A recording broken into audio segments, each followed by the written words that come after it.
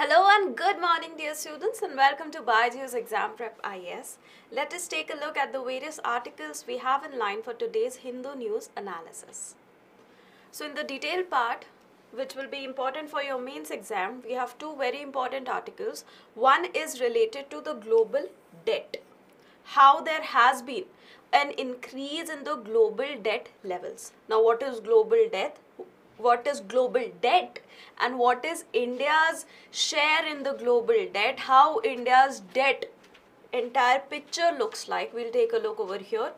The second article is about the Women's Reservation Bill that was passed by both the houses of the parliament on 21st September. So what are certain issues related to the bill? Why is women reservation required and are there certain drawbacks associated with it. In the prelims bites section, we have five articles. The first one is related to the ephemerals. What are ephemerals? We'll take a look. The next article is about IBSA group that is India, Brazil and South Africa.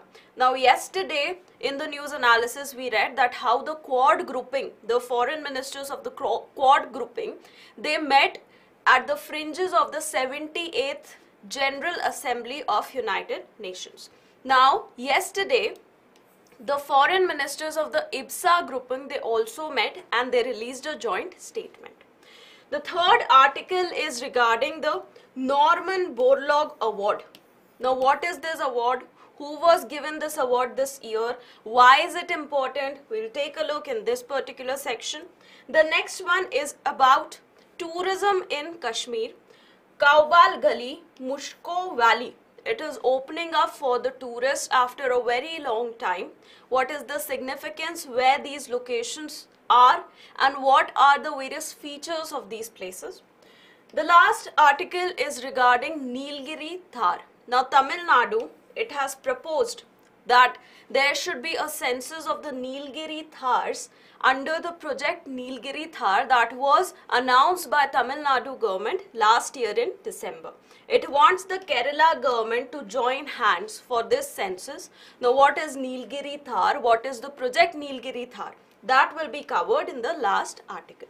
So let us start with our first article that there is a reason there are certain reasons why there has been a rise in the global debt. Now the context is that a, a report was released by Institute of International Finance. Now this is a private institute. It is basically a collaboration of the various financial industries and certain professionals okay? So a report was released by this institute of international finance according to which the global debt it has risen by 100 trillion dollars. Not million not billion trillion dollars. 100 trillion dollars over the last decade that is in the past 10 years. It is 307 trillion dollars now. In the past decade it was somewhere around 200 trillion dollars as a share of GDP, global GDP, the debt is now 336%. For example, if global GDP is $100, the debt is $336, okay? So this is another important finding of this report. Also this rise, this rise is being seen now after a consecutive decline in the global debt that was seen in the past seven quarters. Now, why was there a decline? We'll take a look in detail in the upcoming slides, but in short, the decline was majorly because of the pandemic, the COVID pandemic and the reduced economic activity all across the world. 80% of this rise that has been seen in the past decade, it has come from the advanced economies, including USA, UK, Japan and France. So it is mainly these four countries that have contributed to this excessive increase in the global debt.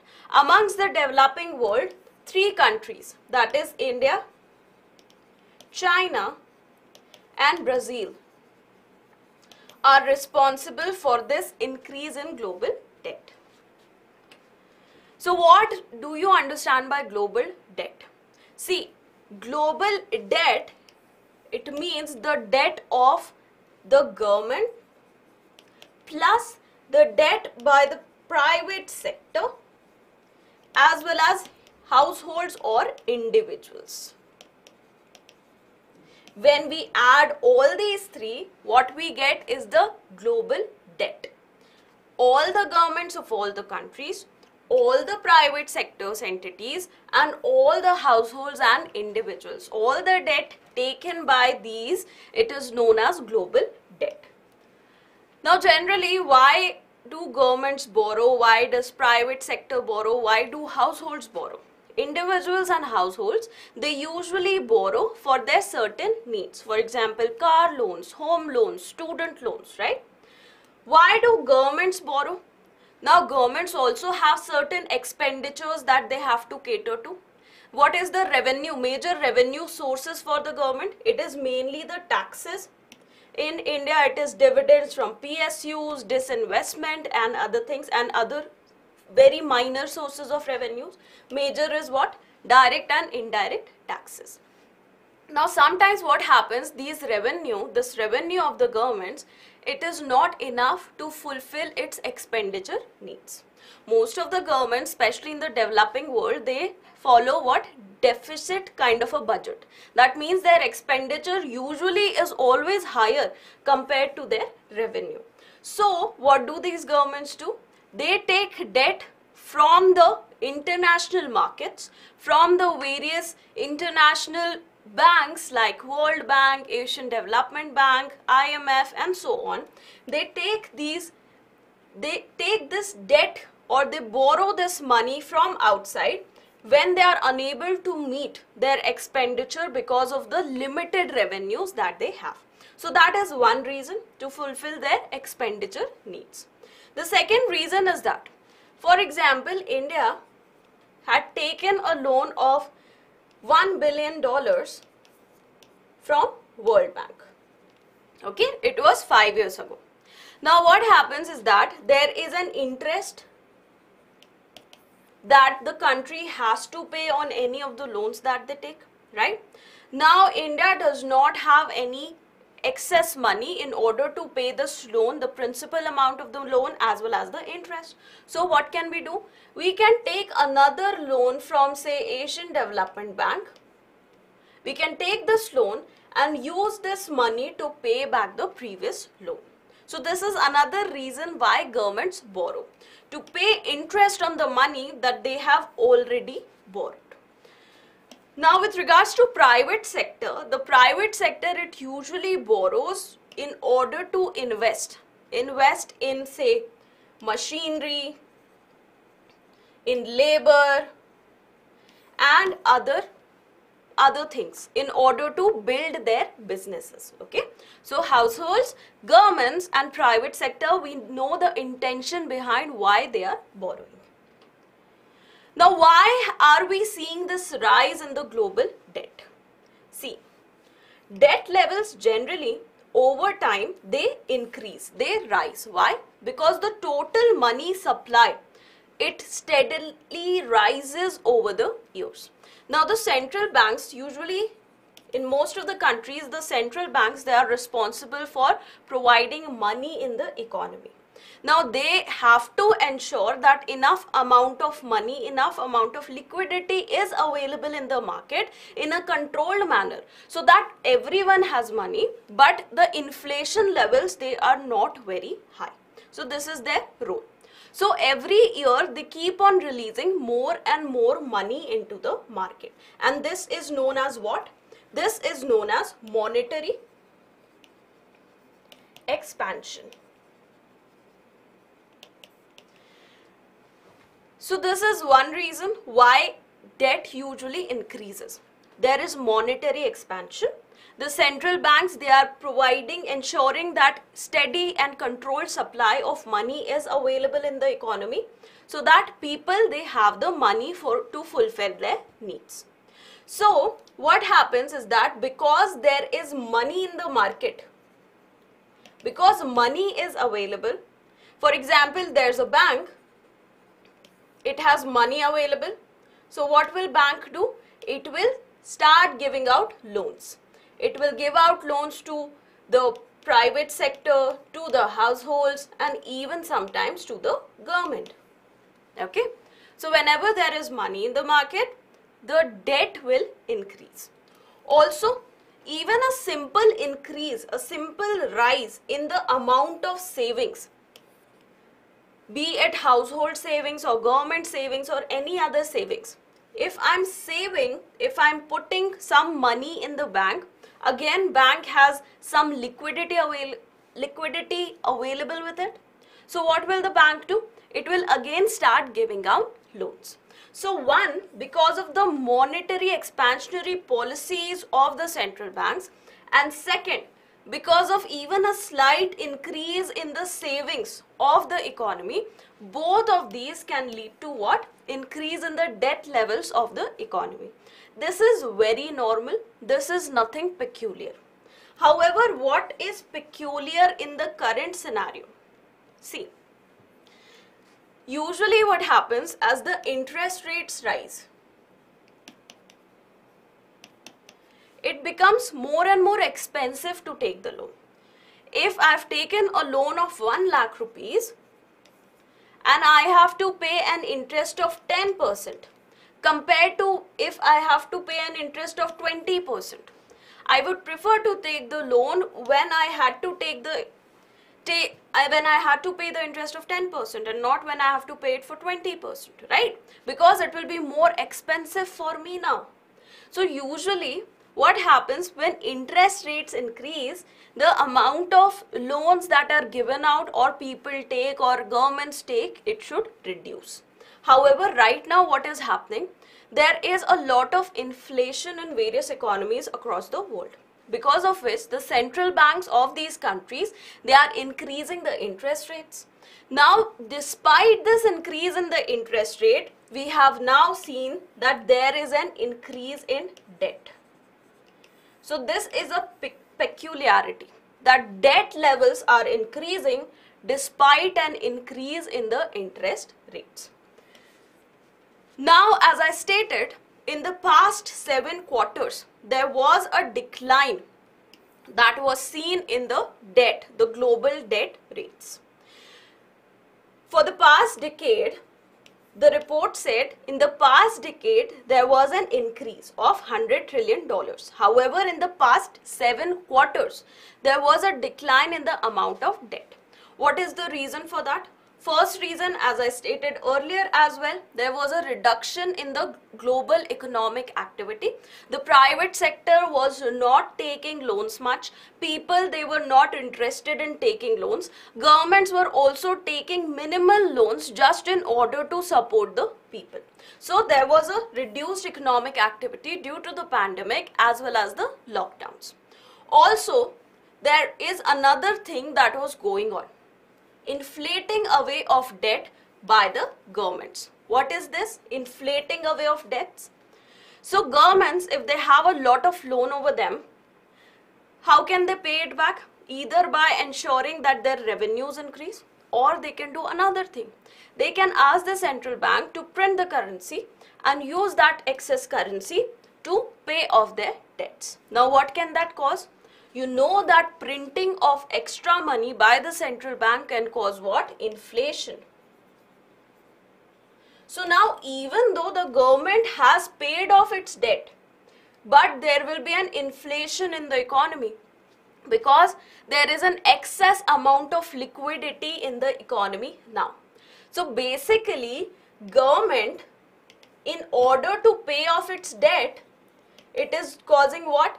It is causing an extra burden on the consumers, on the citizens, on the businesses.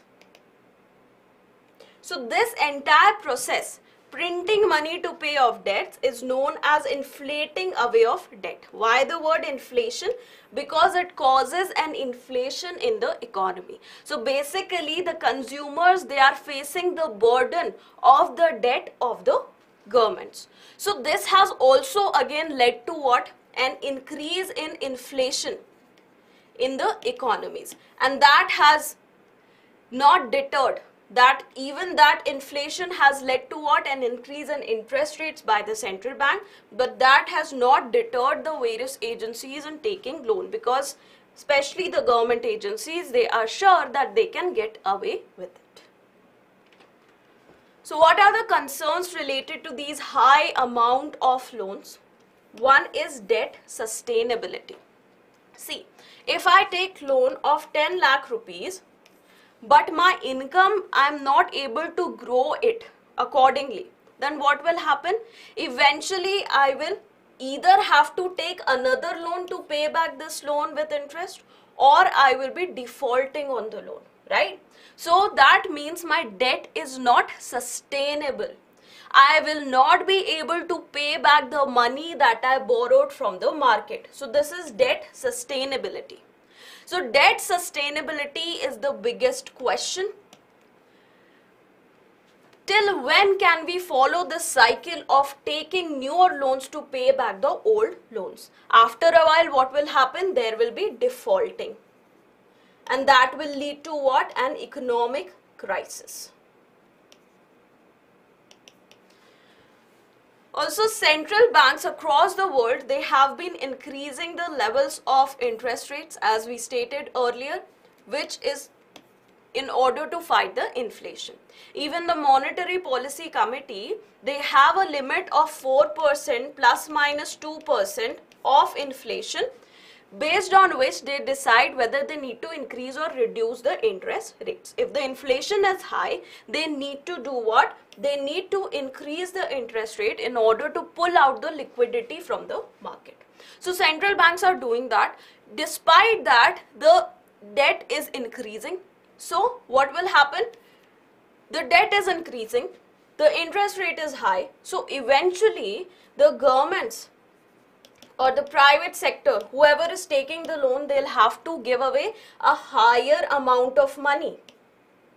So this will increase the pressure on both the governments as well as the private sector. And again, it can lead to what? A default in the loans or it can lead to what? Inflating away of debt, which again will cause a burden on the consumers. The rising private debt is also a very big cause of concern because this is doing what? This is creating unsustainable booms which are in layman terms known as bubbles. Like the bubble of housing market that was seen in USA in the early 2000s that led to the 2008 crisis. So these are bubbles the businesses they keep on unsustainably increasing themselves but eventually these this increase in their business it is not backed by any physical either gold or any physical asset. So what will happen? Eventually this bubble will burst. What you are seeing in case of nfts these days. Nfts they were very famous in the past year people were paying millions of dollars to buy these NFTs. But the value of these NFTs now is just one or two or even lesser lesser dollars, right? So NFTs was also a bubble. So similar kind of bubbles they can be created by giving out excessive loans by the private to the private sector and it can lead to another economic crisis just like we saw in the year 2008. Now what about India? What is India's status with regards to debt, its entire debt and its public debt? See, the World Economic Forum, it warned at the start of this year regarding the rising public debt all across the world. They said that public debt is bound to increase because of certain reasons. What are the reasons? First, after the pandemic, all the governments want their economies to revive and that is why they will provide fiscal stimulus to the various businesses. That includes certain subsidies, cheaper loans and so on. So for that, the governments, they will have to borrow. Second, there will be a rise in the interest rates in order to manage inflation. Now, as the interest rate rises, what will happen? Your debt will also rise. If earlier I had to pay back 10 lakh plus 10% interest, what is that? Let us talk about simple interest now. So, 10 lakh plus 10% interest means I have to pay back 11 lakh. Now the interest rate has changed to 20%. So now my debt has also increased to 12 lakh. Right? In very basic simple interest terms. So because of rise in interest rate, what will happen? The debt, the amount of debt that you have, it will also increase even if you are not taking any new loans. So World Economic Forum had already warned about that. Now India's total debt to GDP ratio, it is what? 170%. If you see over here, at a global scale, it is 336%. So India's GDP, debt to GDP ratio, it is quite low. Now this figure has been taken from economic survey. Out of this, 36% is households, is the share of the households 88% is the share of non-financial private entities and 82% is the share of the government. At a global level also this is very less because at global average of household share in the debt in the debt market it is 62% India's is only 36% for these the global share is 160%. For India, it is quite less. When it comes to public debt, according to economic survey, it was 82%. However, recent data in March that was released in March 2023, according to that data, our public debt is 84%, which is very less compared to many other economies like USA, for which it is 264%. For UK, it's 257%. For France, it is 345%. And for Japan, you'll be surprised to hear, for Japan, it is 426%. Right? For every 100 rupees of its GDP or 100 yen of its GDP, it has a debt of 426 yen. With regards to comparable economies, say like China, for India it's 84%, for China it is 295%. So that is quite high. So this is basically the total debt we are talking about and not the public debt.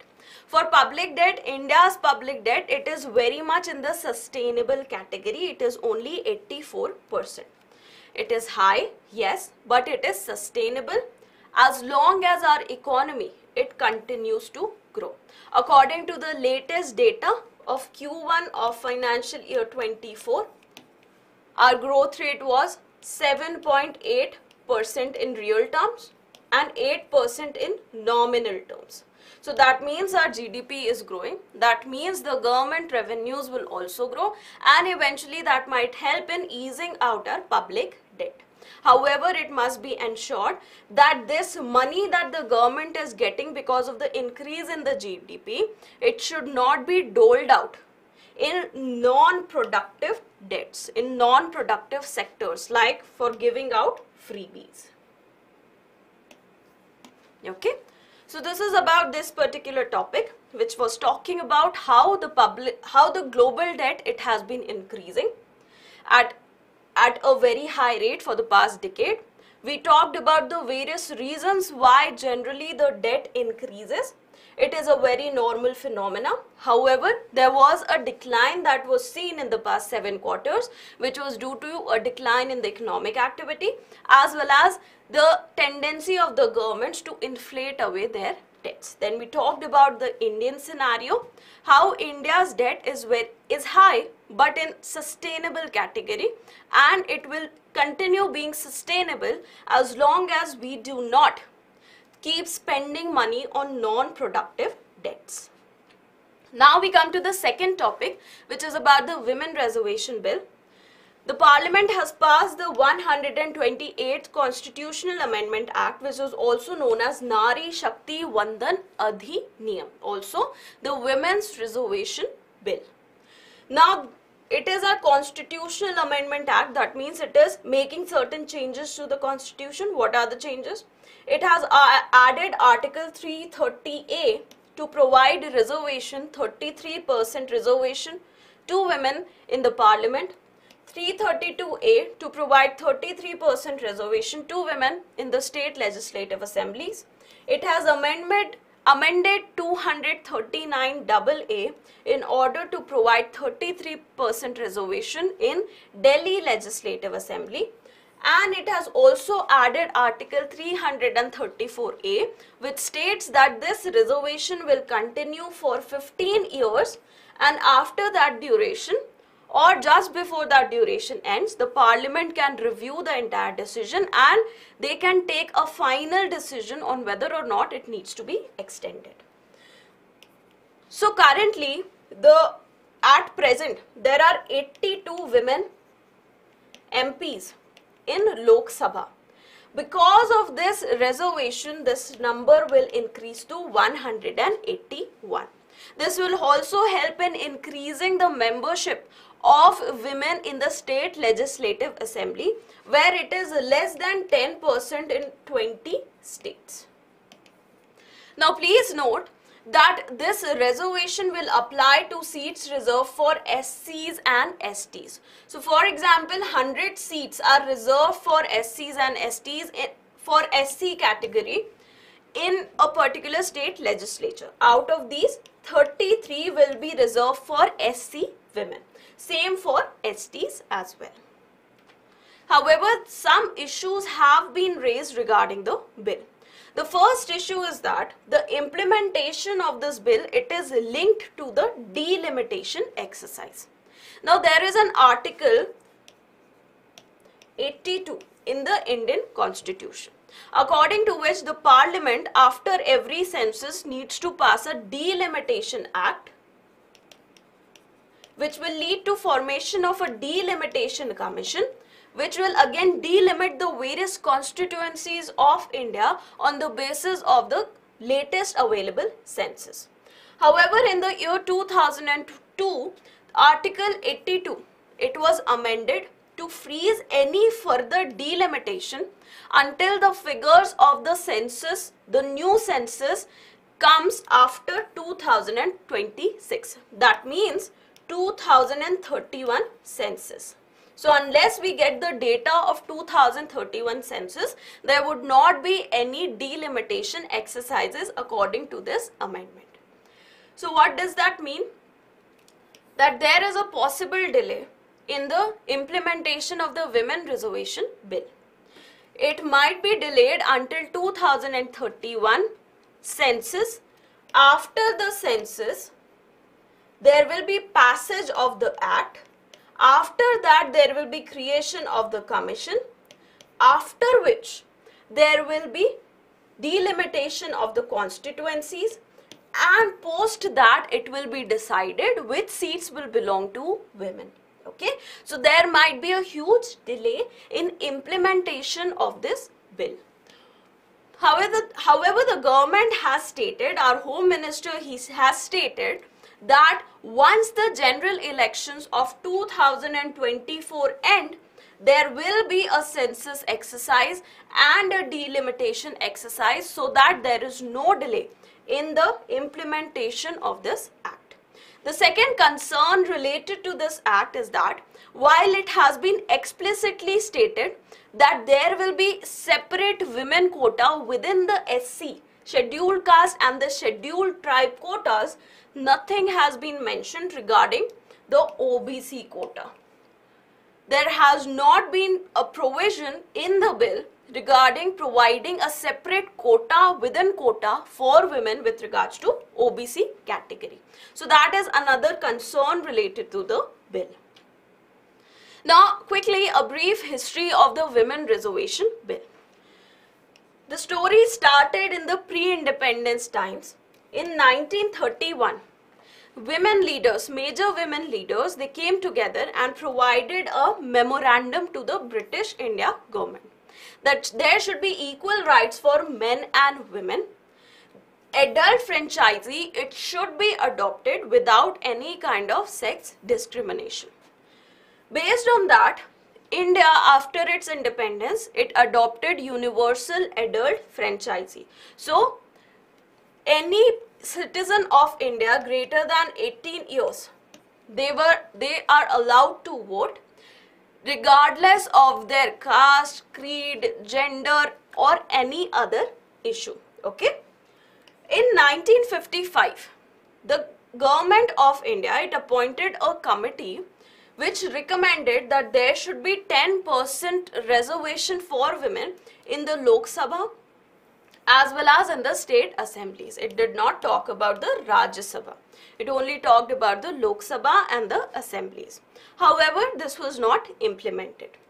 In 1988, another commission that was created by the government, the national gave the national perspective plan for women. Now this plan, it also was recommending what? A 30% reservation for women to increase their participation in the political activities and decision making of the government. This again was not accepted in 1993, there came a very landmark decision by the government of India. The parliament, it passed the 73rd and 74th Constitutional Amendment Act, which provided for 33% reservation for women in the local bodies. Eventually, many states, almost 20 states of India, they have increased it to 50%. The first state to do that was Bihar in the year 2006. After that, 19 other states have already adopted that. So there is 50% reservation for women in the local bodies, both urban as well as rural. In 1996, the Women Reservation Bill 81st Constitutional Amendment Act. It was introduced in the Lok Sabha which again called for 30% reservation in Lok Sabha and the state assemblies. Okay. So, it was basically following the National Perspective Plan for Women which also recommended 30% reservation. However, the bill elapsed as it was pending in the Lok Sabha while the government fell. Later, later in 1998 again, similar bill was introduced but it again lapsed due to the fall of the government. After that, it was introduced multiple times in 99, 2000, 2002 and 2003 but again there was no success. In March 2010, on March 9th, 2010, a bill was again introduced and it was passed also in the Rajya Sabha for women reservation. What was it providing? It was providing a 33% reservation for women in the parliament and the state legislatures. It stated that these seats they will be provided to the women on a rotational basis. Rotational basis means if there are nine seats out of these, these three are called for women, are reserved for women. In the next assembly election, it might be these three. There will be continuous rotation of the seats that are reserved for women. Also this provision, it will lapse in 15 years. However, because the Lok Sabha got dissolved, this bill again got lapsed. Then in September 2023, the government of India again introduced this bill and it was historically passed by both the Lok Sabha as well as the Raj Sabha. Currently, it is pending the assent of the President of India. Now, what are certain arguments that support the bill? Why was this bill required? First, the Global Gender Gap Report of 2022, it stated that India is 48th amongst 146 countries in terms of political participation. When it comes to the parliament, only 14% of the sitting MPs they are women. Now this figure it is much lower compared to certain neighboring states like Nepal, Bangladesh, Sri Lanka and Pakistan. Also, approximately there are 40% voters, 48% voters which are women. However, only 14% of representatives are women in the parliament. In the state legislative assemblies, as I stated earlier, in 20 states, it is less than 10%. At a total level, only 9% of the sitting MLAs, they are women. So compared to the number of women voters, women representatives, they are very less. Also the political parties, they are not very active in contesting, in allowing women to contest the elections from their tickets.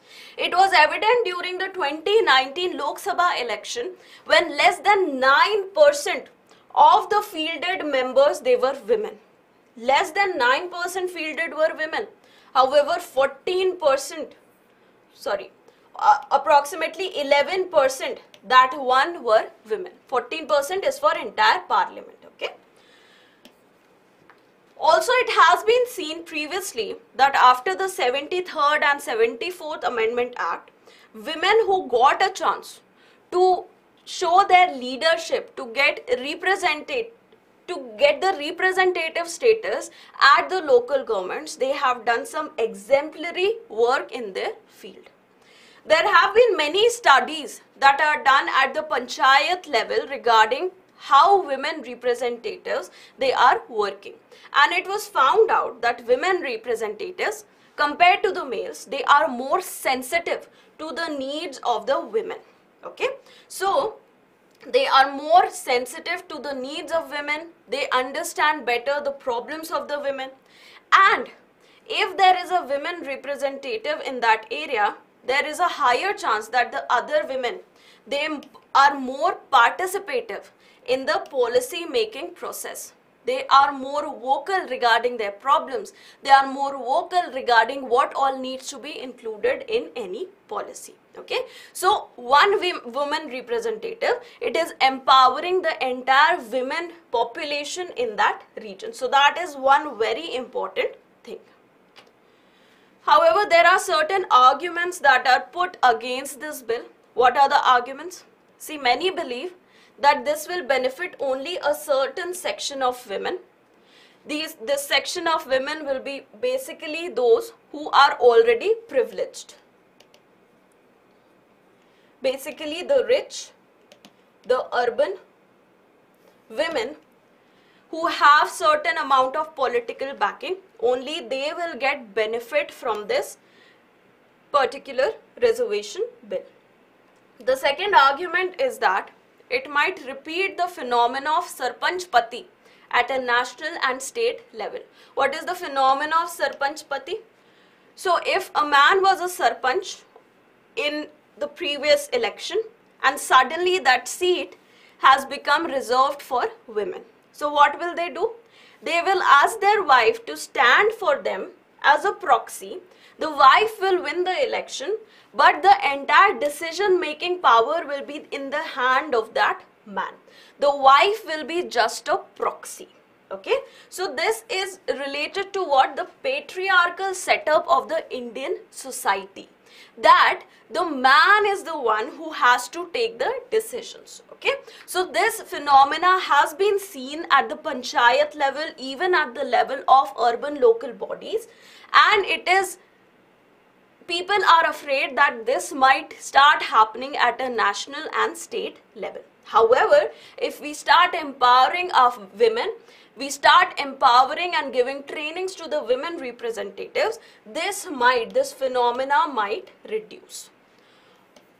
Another argument is that it is the duty of the political parties to give tickets to the women. It should not be duty of the national government. The political parties should have taken the initiative to give adequate amount of tickets to the women representatives because unless they stand for the seat, how will people go and vote for them? How will they reach the parliament? How will they reach the legislative assembly?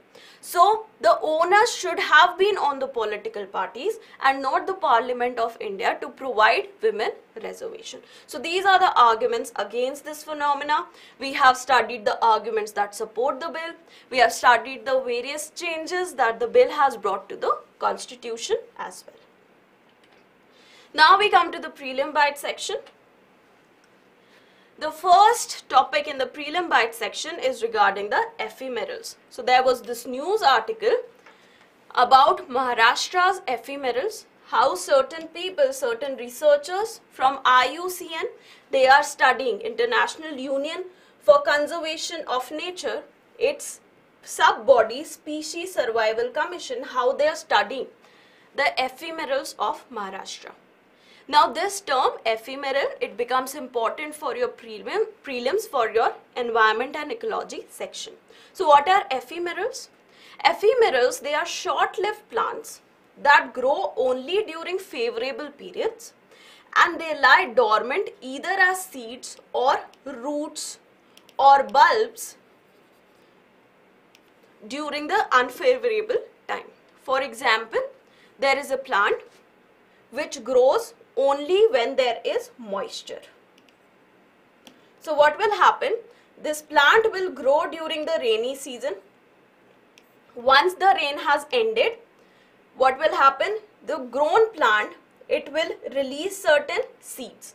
Now these seeds, they will lie on the ground and eventually when there is rain once again, the plant will grow once again.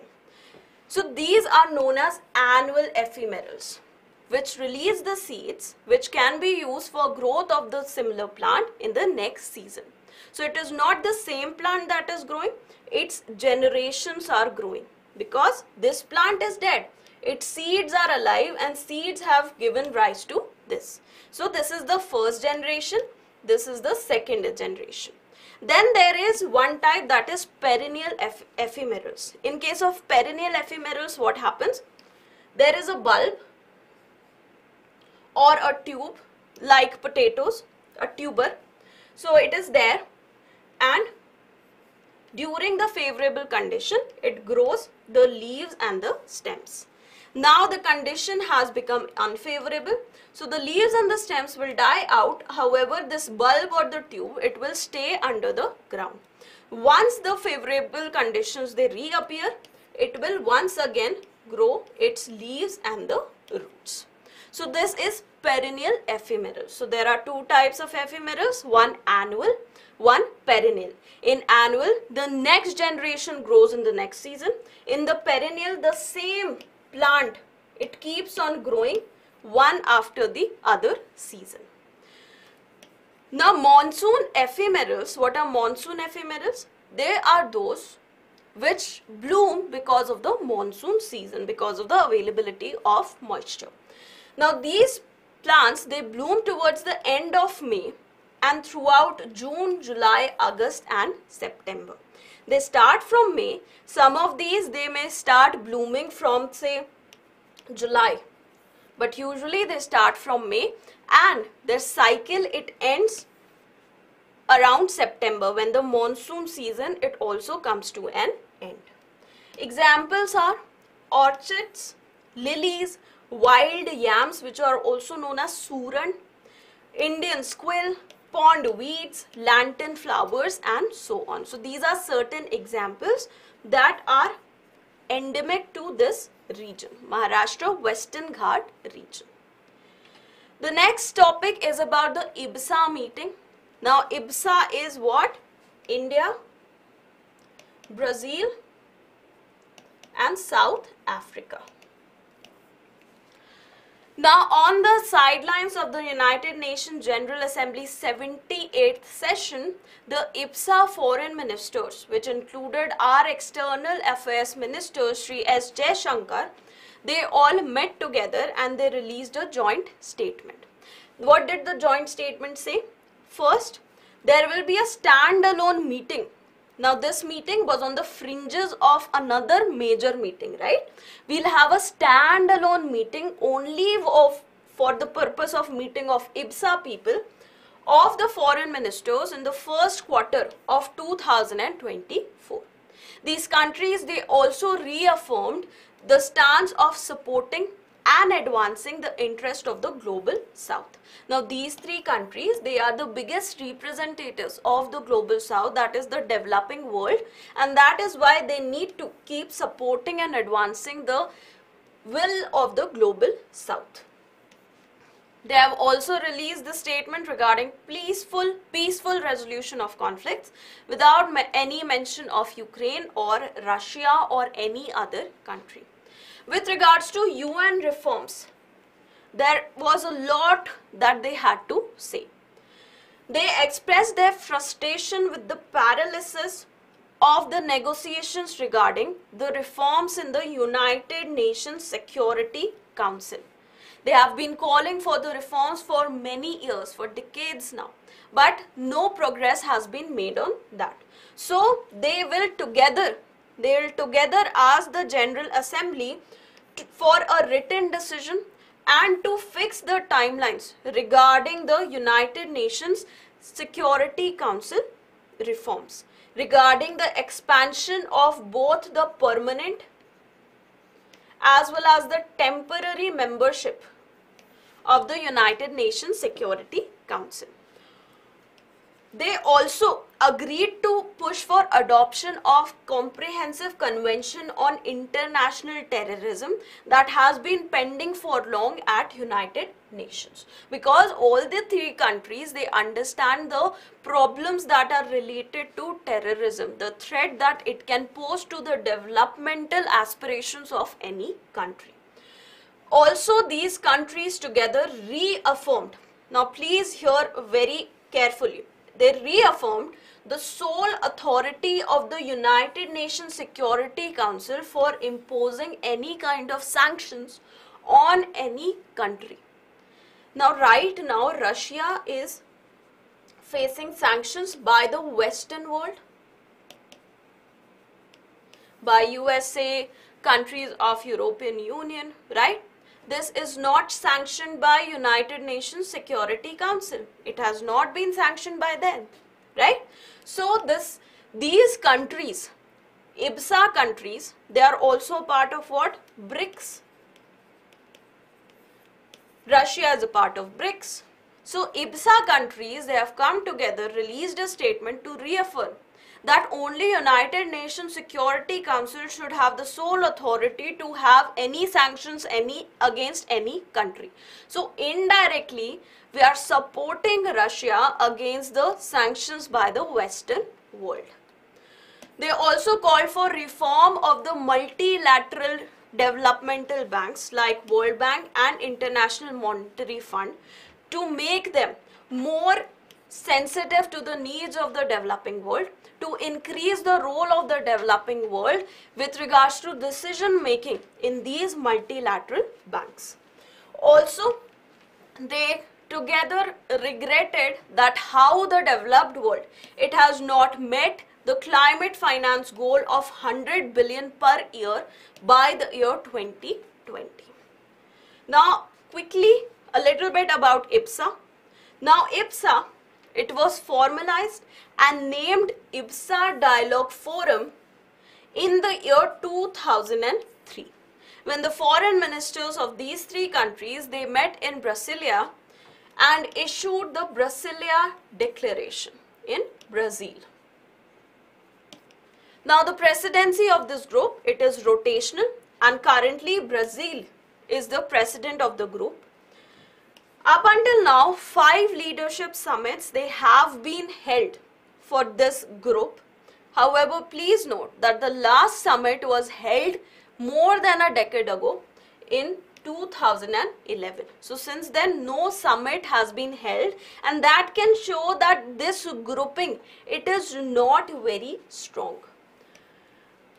These countries they also have committed to a IBSA fund which is also known as IBSA facility for poverty and hunger alleviation. Now these three countries all the member countries they know the problems related to poverty and hunger. In fact Brazil had made long strides in order to reduce the poverty and hunger in the country and that had made it a global example a global success story so IBSA facility of poverty and hunger alleviation, it was established in March 2004, became functional by 2006. It is supporting various developing countries in order to reduce poverty and hunger. It has supported up until now 35 developmental programs across 31 countries. There was also IBSA fellowship program that was launched in November 2016 to allow the exchange of young researchers or young fellows. So it allowed for, it promoted academic exchange of young fellows in fields of economics and social studies. So they can learn from each other. Now another reason why this meeting is very significant is because G20, India was the president, the current president, right? The Troika included what? Indonesia, that is the past president, India, that was the current president, and Brazil, that was the upcoming president. Now for the next summit, what is there? India is the past president, Brazil will be the present president, and the future president will be South Africa. So these three countries, they will also be the troika of G20 next year. So their collaboration becomes even more essential. Next, we have the Norman Borlaug Award. Now, Norman Borlaug Award, what is it? Who has been given this award for the year 2023? Now, there is an agricultural scientist known as Swati Nayak who has received this award for 2023. She is only the third agricultural scientist of India to receive this award. Why did she get it? Because she and her team, they developed a strategy to promote the use of a drought resistant variety of rice which revolutionized the rain-fed agricultural regions in the state of Odisha. What was this rice? It was Sahabhagi Dhan rice. It is a native variety of Odisha and the this agricultural scientist who is also a part of IRI, Indian, Indian Rice Research Institute in Delhi, she has helped or formulated a strategy for this purpose. Now a little bit about the Norman Borlaug Award. It is also known as the Nobel Prize in Food and Agriculture. Informally, it is known as that, not a formal uh, definition. It is presented every year in the month of October. In October, you also know that Nobel Prizes, they are given, right? So, this prize is also given in the month of October by the World Food Prize Foundation. Why? What? Who all can be given this award? It recognizes exceptional science-based achievements in international agriculture and food production. Exceptional and scientific achievements in agriculture and food production industry by individuals who are under the age of 40 years. The winners, they are chosen by an anonymous international jury. So this is about this prize. It is $10,000 prize and it has been given to an agricultural scientist Swati Nayak for this year. Next we have the Kaobal Gali, Mushkoh Valley and Gurez Valley. Now these regions they have now been opened up for the tourists and it is expected that around 50,000 tourists they will enter this they will go and visit this region for this year. Now what are these regions? First, we have Kaobal Gali. Kaobal Gali is a mountain pass. at a height of 4166.9 meters. Now this mountain pass, it is very much essential because it connects the Gurez Valley with the Mushkoh Valley. Now Mushkoh Valley, it is located in the Dras sector of Kargil, which again is located in the Ladakh Union Territory. And this was the site of the 1999 Kargil War. It has lush meadows, rich biodiversity, lush meadows with wild tulips and exquisite views of the glaciers, making them very popular, very attractive tourist destinations. They are also home to endangered Himalayan yew. Now Gurez Valley, it is located in the Union Territory of Kashmir in a district known as the Bandipora district or Bandipur district here. So Gurez Valley was up until now closed for civilians. Why? Because there was huge amount of activity, shelling of this region from across the border. However, the ceasefire between India and Pakistan, it has been working for the past 43 months now. And that is why a decision has been taken to allow tourists to go over this location. Now, one very interesting thing about Gurez Valley is that there is no intrusion of concrete buildings in this region up until now. There are only log houses and log infrastructure that is available here which again adds to its touristic value. It is also home to certain animal species like ibex, like the musk deer, the famous musk deer of Kashmir and the marmots.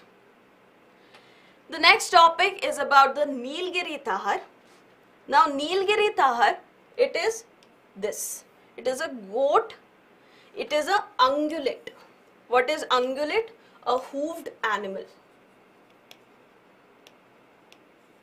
It is the South India's only mountain ungulate. And according to the IUCN Red Book, it is endangered. So that is why it becomes essential to conserve this animal. Now it is endemic to Western Ghats in the southern hill region. Its habitat it ranges between the Nilgiris in the north and the Kanyakumari hills in the south. So it moves around in this location itself.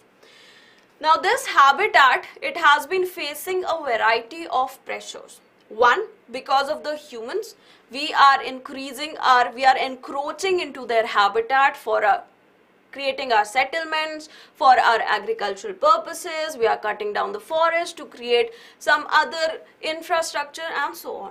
The second reason for the decline in the habitat is invasive species. Now these habitats where these Nilgiri tahrs live, they are basically what? Grasslands okay? So these are grasslands and it is on this grass that they feed upon.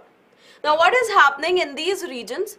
There is certain invasive species of tall trees like pines eucalyptus and wattles and also some other grasses. So what is happening? These grasslands they are getting converted into woodlands and that is affecting the availability of habitat for the nilgiri tahr now this animal, please note, it is the state animal of Tamil Nadu and that is why to understand and to emphasize on the importance of this animal, Tamil Nadu government, it launched the Nilgiri Tahr project, Project Nilgiri Tahr on the lines of Project Tiger, Project Elephant and Project Hangul and so on in December 2022 in order to increase their efforts for the conservation of this endangered species. They also declared that October 7 every year will be called the Nilgiri Tahr Day. Now component of the project Nilgiri Tahr includes research on the possible reasons why these tahrs they are getting the lumpy skin diseases. So this particular component of the project, it will research on why they are getting this disease and provide possible solutions so that their populations do not further decline. Now, Tamil Nadu, according to this news article, it has proposed that a census should be done for the Nilgiri Tahrs in order to identify what their population is and accordingly conservation efforts they can be undertaken.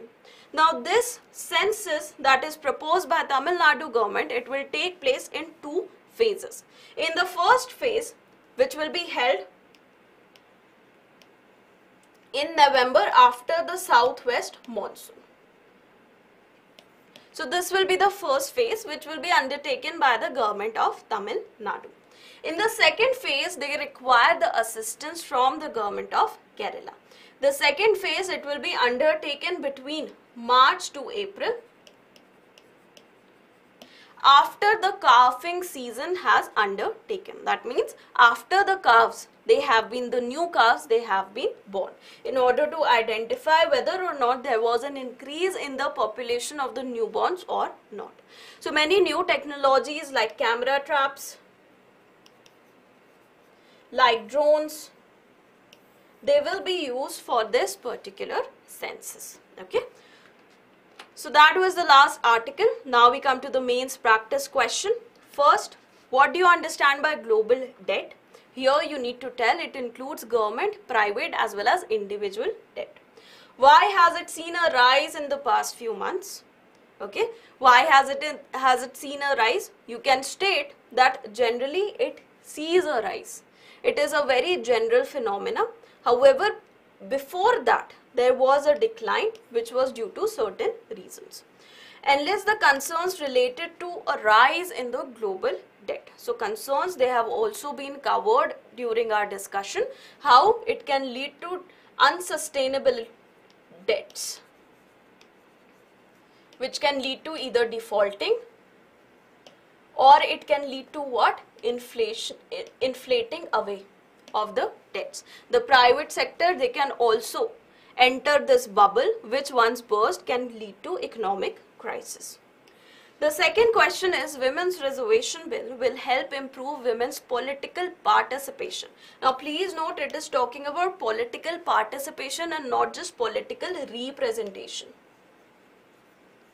Political representation means that there will be more representatives, more women representatives. So that is definitely the basic goal of this entire bill to increase the representation to 33%.